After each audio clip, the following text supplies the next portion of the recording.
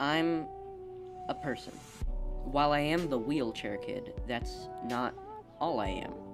I think one of the big problems I face, uh, just kind of in everyday interaction, is with people trying to include me and therefore making me feel excluded. In trying to be a better person towards me, they end up making my image and my self image just a little bit more fragile, which I think I'm fragile enough already.